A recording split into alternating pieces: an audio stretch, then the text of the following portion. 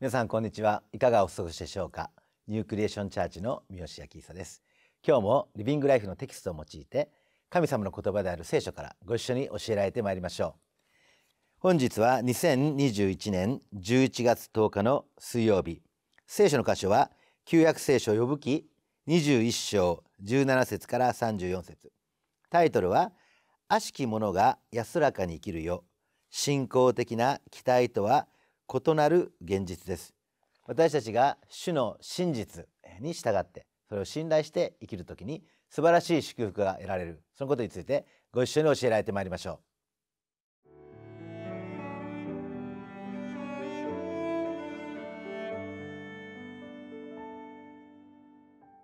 う。呼ぶ記21章。17節から34節。幾たび悪者どもの灯火が消え破局が彼らの上に臨み神が怒って彼らに滅びを分け与えられることか。彼らは風の前の藁のようではないか。つむじ風が吹き散らすもみ殻のようではないか。神がそのようなものの子らのために災いを秘めておられるというのか。その人自身が報いを受けて思い知らなければならないのだ。その人自身の目が自分の滅びを見自分が全能者の憤りを飲まなければならない。自分の日数が限られているのになぜ自分の後の家のことを気にかけるのか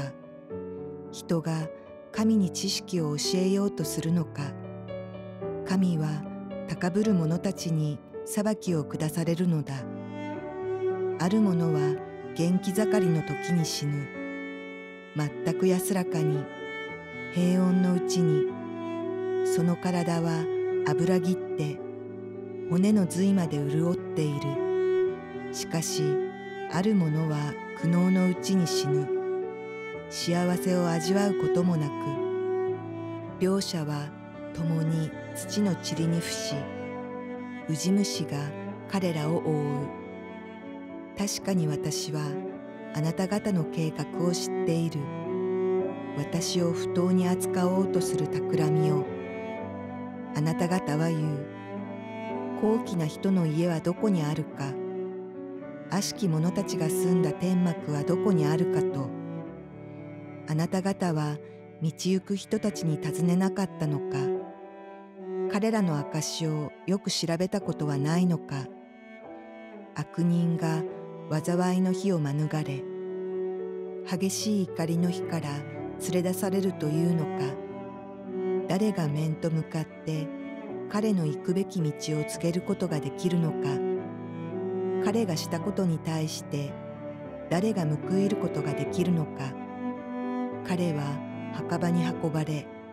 その塚の上には見張りが立てられる。谷の土くれは彼には快くすべての人間が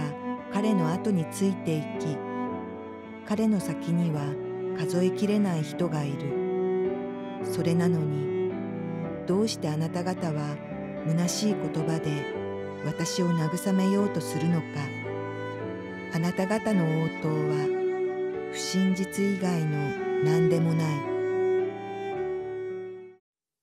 私たちが、えー、信仰という言葉、えー、イエス・キリストを信じるようになるとこの教会に行ったりして信仰という言葉をよく聞きます。でこれは信じて仰ぐっていうふうに漢字で書くんですけれどもまあ仏教ではですね信仰という言葉を使うかもしれないですけれどもおそらく多くの日本人は信心っていうそういう言葉を使うんじゃないかなと思うんですね。でキリスト教というこの信仰私たちがですね信じるようになった時にまあ、仏教では信心っていうのにどうしてこのキリスト教では信仰っていうのかなって、まあ、そういうふうにこの思わないでもないんじゃないかなと思うんですけれども、まあ、理屈っぽく言えばですね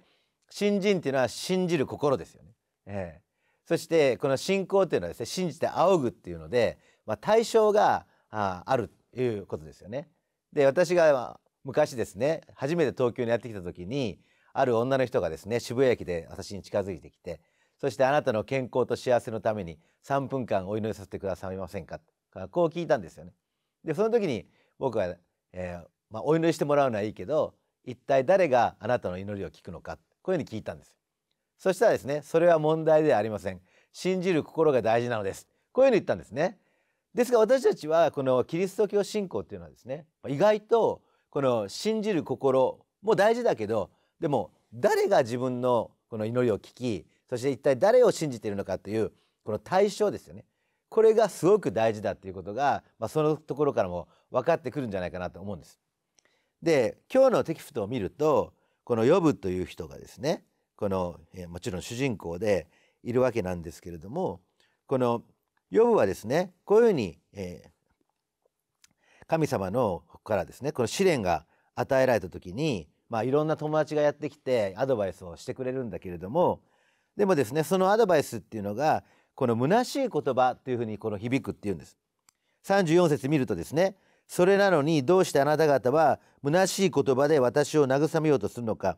あなた方の応答は不真実以外の何者でもないこういうんです。でどうしてヨブがそういうふうに応答しているのかっていうとそこにはですねこの主の真実というものが存在しないまあ、えただのこの言葉に過ぎないいうふうにですねこのヨブが感じているからだ思うわけです。でその時に私たちは私たちがこの新約聖書に行った時に、まあ、イエス・キリストを信じる時にですねパウロっていう人は十字架の言葉は滅びに至る人には愚かであっても救いを受ける私たちには神の力ですこういうふうに言ってるのをこの思い出すわけです。ですからこれヨブの友達がアドバイスするいろんな言葉はこの虚しい力のない、まあ、言葉で真実じゃない。しかし私たちが信じている主の言葉はそれは虚しい言葉ではない。でそのことをですねこの今日覚えていきたいと思うんです。でまず第一番目に私たちが覚えなければならないということは何かというと主の裁きというものがですねこの死後あるんだということです。読んでいくとですねこの19節に「神がそのようなものの子らのために災いを秘めておられるというのかその人自身が報いを受けて思い知らなければならないのだその人自身の目が自分の滅びを見自分が全能者の憤りを飲まなければならない自分の日数が限られているのになぜ自分の後の家のことを気にかけるのかこういうふうに言っているんです。で私たちですここでですね、まあ、何がこの虚しい言葉としてこの予部に響いているのかっていうとですねその今この世界でそのあたかも神様の裁き全能者の憤りをこの飲まなければならないというまあお前は悪いことしたからこんなひどい目に遭ってるんだろうっていうふうにまあ暗にヨブの友達が語りかける時にその裁きっていうのは今この地上であるんじゃないよっていうことをもし知ってたらですねそれは跳ね返すことができるわけですよね。ところがそのことが分かっていないしもちろん旧約聖書の時代ですからまだイエス様は十字架にかかってもいないし復活もしていないのでその裁きのことについてですねこの世で起こっているのかそれとも人は一度死ぬことと死後に裁きを受けることが定まっているというそういう世界なのかこう曖昧もことしてるわけです。で私たちが何でこの十字架の言葉は力があるのかというとこのイエス・キリストの十字架の死というのは裁きがイエス・キリスト罪のない方によって完全になされたということを表しているわけです。テテレスタイ完了したってイエス様は十字架の上で言った。だからですねこの地上でいろんな災いがあったとしてもそれは最終的な裁きではないということを私たちははっきり知ることができるわけです。まあ、ヨブの友達のような人がやってきてですねお前の罪があるからこんなことになったんじゃないかって何百万回言われてもですねそれは最後の裁きじゃないよ。なんでかって言ったらイエス様が十字架で裁かれてくれた。そして十字架にかかった時に、えー、一緒に十字架にかかっていた人のうちの一人にですねあなたは今日私と共にパラダイスにいるだろうと約束した。つまりですね裁きを待つ場所ハデスにこのイエス・キリストを信じる人は行くことがない死ぬとですねもう裁きをイエス様によって終わってるわけですからですから私たちはここで主の前に立つ時にですね私たちはもう裁きに受けることがない。ことを十字架の言葉によってはっきりと信じることができるので虚しい友の言葉。ここで言ってるですね。酔うの友のような人たちがやってきた時にその言葉を跳ねのけていくことができるわけです。2番目は何かっていうとですね。2番目はその主のご計画というのはですね。この人々の救いのためにあるんだということです。で27節を見ると確かに私はあなた方の計画を知っている私を不当に扱おうとする企みをってこういうふうに言ってるわけです。まあヨブはですからしてみたらですね自分を罪人のポジションに置いてそしてあのまあ本当はそんなことがないのにお前が悪いことしたから罪を犯したからこんなひどい目になってるんだって言おうとしてるだろう、そういうこの人間の企みがあるぞ言ってるわけですよね。28節見るとあなた方は言う高貴な人の家はどこにあるか悪しき者たちが住んだ天幕はどこにあるか。こういうふうに言うと、つまりああなたのその問題がこういう、えー、災いを引き起こしているんだ、でところがですねこの私たちがこのイエス・キリストの十字架のこの贖いというものを知るときに私たちはですねこの人々が自分を不当に扱おうとするときにその計画をたとえそれがあったとしても主のご計画はそれを超えているっていうことを知ってるわけです。ですからですねこれどんなに予部の友達のような人たちが自分を不当に扱おうとしたりあるいはまあそういう具体的な人間じゃなかったとしても、えー、宗教とか文化とかこの世界が教えるさまざまな教えによってお前が悪いことしたからこういうことになっているんだというそういう不当な扱いをしようとしても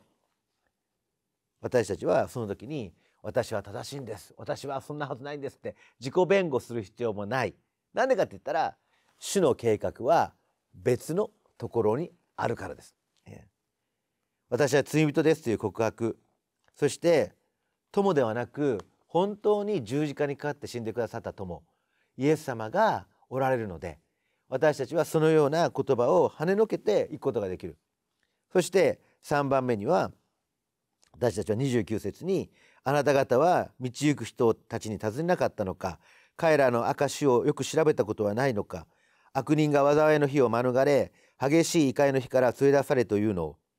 誰が面と向かって彼の行くべき道を告げることができるのか彼がしたことに対して誰が報いことが報いることができるのか彼は墓場に運ばれその塚の上に見張りが立てられる。谷の父くれは彼には快く全ての人間が彼の後をついて行き彼の先には数えきれない人がいる。これはですねこの悪いことをしてもこの裁かれない人たちがこの世界にはたくさんいるじゃないか。悪人たちがですねその、えー、たとえ悪いことしたとしても最後まで墓場まで行ってそしてこのこの世で裁かれないでおい終えていくということがそういうことがあるじゃないかって。多くの人がそれをそのような人生を生きてるじゃないかってこういうふうに言ってるわけなんですけれども私たちはですねイエス様の十字架を信じる時にそのような人たちがたとえいたとしても私たちはその悪人を妬む必要がない。あその人たちは裁かれないのになんで私は裁かれるんですか？その人たちはひどい目に遭わないのにどうして私はこんなひどい目に遭うんですか？というふうに思う必要がない。なぜかっていうと私たちは主の御言葉によって主の御業が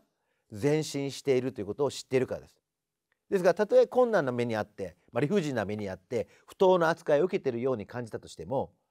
主のご計画はさらに前進してそして主を待ち望むことができるので私たちは自分の信仰ではなくて主の真実により頼むことができる。私たちはですね信心ではなくて信仰。信仰なんだけどもそれは対象があるのでその対象になっているお方は真実なお方。そこに目を留めていく時に私たちの信仰は揺れ動く。でも主は変わることがない。でそこにですね心を向けていく時に私たちは人間の言葉を跳ねのけ不意に振り回されずただ主のなされることを待ち望むことができる。でそのことをですねぜひ覚えていきたいと思います。